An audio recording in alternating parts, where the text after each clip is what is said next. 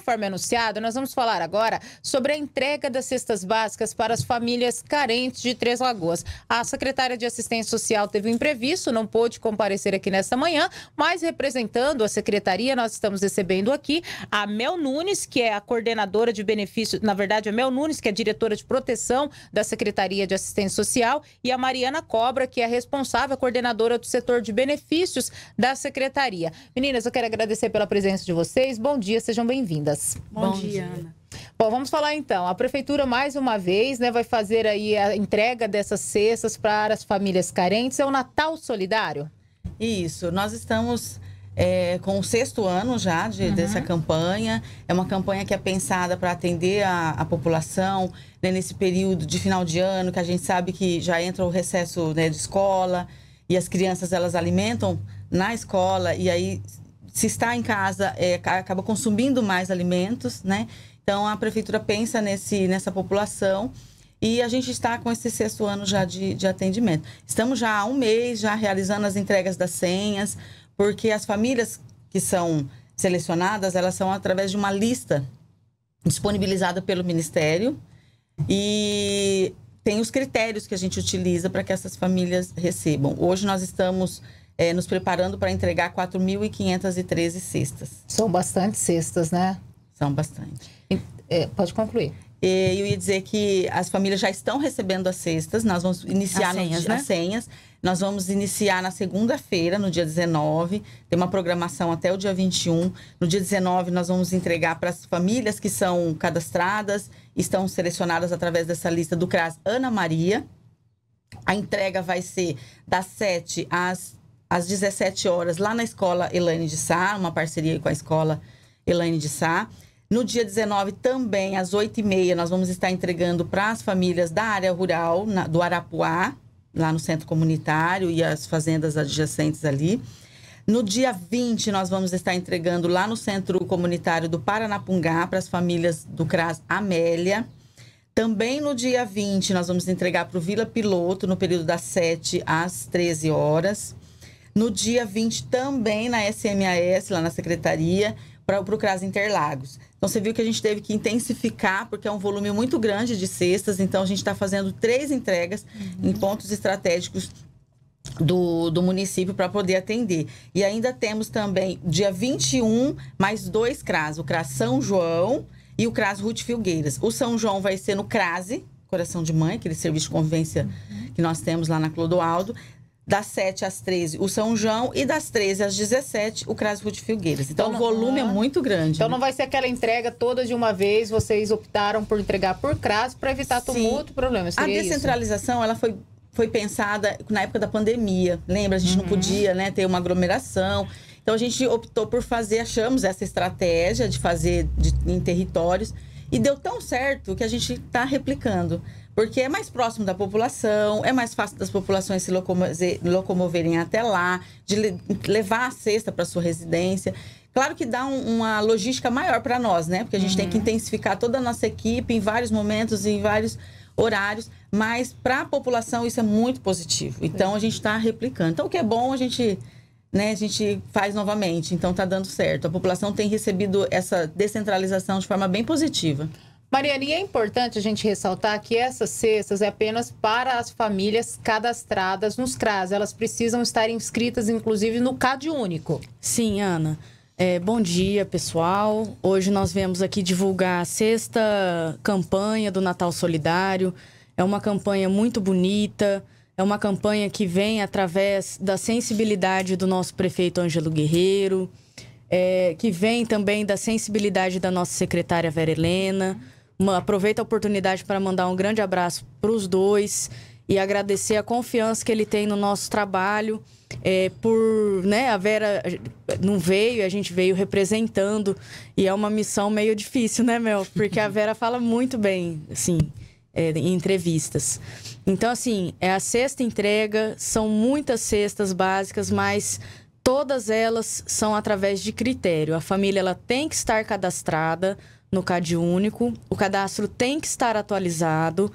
essas famílias, é, essa, essa esse quantitativo de 4.513 é baseada dentro, desde o início, dentro da folha de pagamento do Bolsa Família, e depois, quando o Bolsa Família mudou o programa, dentro da folha de pagamento do programa Auxílio Brasil, dentro da extrema pobreza. Uhum. Então, a entrega ela é escalonada, porque mesmo que a família esteja pré-selecionada, existe uma visita técnica para análise, para ver se essa família ainda permanece no perfil para poder ser beneficiada. E aí, após Vamos, vamos falar que a gente bateu essa, essa primeira listagem. Nós já migramos para a listagem da pobreza dentro do Auxílio Brasil. Fez a listagem da pobreza, ainda sobrou sexta dentro da avaliação. Vamos para a listagem dos benefícios de prestação continuada. Então, todas essas famílias são famílias analisadas pela assistência social, dentro de um critério legal de renda e para poder ser concedido a senha. Lembrando aquelas pessoas que receberam a senha que só conseguirão retirar a cesta na data uhum. que foi designada para entrega. Perdeu a data, não tem como a gente entregar, entregar a senha essas cestas, a, a, apesar de que não sobrou no decorrer das outras cinco entregas é, senhas. Quem realmente geralmente Recebeu. ganha, dá um jeito de buscar. É, então, assim, a gente pede para a população ficar atenta. Todos aqueles que receberam as senhazinhas já sabem o local de entrega, a data de entrega. Então, assim, a nossa logística é uma logística muito complicada. São duas carretas mais um caminhão que está descarregando hoje. Então, assim, é uma mobilização da, da secretaria inteira para poder conseguir entregar. É, agora, nas duas últimas entregas, foi de forma descentralizada. É, a, o prefeito Ângelo, através de sua sensibilidade, viu que ficou mais organizado para a população. A espera da população no evento ficou menor para poder retirar a sua senha fica mais próximo da casa do usuário. Então, assim, é uma ação enorme, só que muito planejada e muito organizada. Estamos desde agosto no planejamento disso tudo. E o que, que veio dessa cesta? Essa cesta é composta por o quê? Quais itens? É a cesta básica do benefício eventual. É uma cesta bem grande, bem pesada. São 10 quilos de arroz, ah, é, é, é, é, a cesta básica do, do benefício eventual, que é aquela que, que a gente duplicou, né? Os, os itens. É uma cesta que, para uma família de quatro pessoas, dura tranquilamente para 30 dias. Ajuda, né? Não, ajuda. não é uma cesta de Natal, embora seja agora entregue no Natal, uhum. mas é uma cesta que ajuda, porque a gente sabe que o arroz está muito caro, muito caro. o óleo está caro, é, o feijão. e é o, o, feijão, o açúcar, e é o que vem nessa cesta. Isso. Sobrando dinheiro para a família, a família pode comprar o supérfluo, que a gente chama assim. Né? Sim. A gente pensa assim no Natal solidário, porque é uma fase que as escolas estão entrando de férias, os serviços de convivência também, apesar de ter a colônia de férias, né, Mel? É, posso ter falado. É... Então, a gente pensa que essas famílias em maior vulnerabilidade é, vai consumir mais alimentos, porque essa, essas crianças e adolescentes estarão dentro de casa, né? Então é voltado para isso, para ter o, o, alimento e a família desafogar um pouco. Exato. É. E até falando da colônia de férias, né, meu? É importante essa colônia para as mães, os pais que trabalham, né? Sim, nós vamos iniciar. Nós já fizemos as inscrições das, das crianças nos nossos serviços de convivência. Encerrou ontem as inscrições, nós tivemos quase 400, 500 crianças inscritas. Nós vamos iniciar no dia 9 de janeiro e vamos finalizar até o dia 31 de janeiro. Então, é, vai, nós vamos pensar em atividades recreativas, em atividades lúdicas, tudo para receber essas crianças que poderiam, né, nesse período de férias, estar na rua ou, ou sem local para ficar, porque os pais precisam continuar trabalhando, né? Então a gente vai abrir esse ano para a colônia de férias. E onde que vai ser a colônia de férias? A colônia de férias ela vai funcionar lá no CRASE, Coração de Mãe, mas nós vamos buscar as outras crianças de todos os outros serviços de convivência, do Bombeiros, do Pelotão, do Florestinha, da banda, e vamos o transporte, né, o ônibus vai passar, pegar essas crianças que estão inscritas e vamos levar a fazer atividade lá no CRAS. E depois retorna novamente para esse serviço, para dar oportunidade para outras crianças também. Isso é importante, porque a gente sabe que tem a colônia de férias da Secretaria de Educação, né? Que essas Sim. crianças que os pais trabalham ficam no CIS durante esse período. E tem um outro período que as crianças que frequentam esses projetos podem continuar, né? No CRAS Coração de Mãe. E é importante para evitar que essas crianças fiquem nas ruas nesse período, né, Sim. né, Mel? Ah, o período de, de inscrição já encerrou e nós estamos planejando atividades para as crianças de 5 a 17 anos. Então, é a oportunidade dessas crianças de 5 a 17 que estão inscritas no nosso serviço de não ficar na rua ou sem uma pessoa para cuidar, né, para estar tá fazendo as atividades, nós vamos oportunizar. Uhum. É, para os pais isso é muito bom, né? Vamos ter uma tranquilidade aí nesse período de recesso para poder deixar as crianças. Com certeza. Mariana, voltando a falar sobre essa questão das cestas, a gente viu aí que no ano passado, ano retrasado, algumas pessoas estavam vendendo cesta, né? E é importante a gente ressaltar isso, para quem não precisa, então não pega, né? É, o programa atende justamente essas pessoas que têm necessidade. Agora, pegar para vender não dá, né? É triste, né? É triste porque, apesar das pessoas passarem por uma avaliação técnica, sempre tem aquelas pessoas um pouquinho mal intencionadas, que não dão valor naquilo que estão recebendo.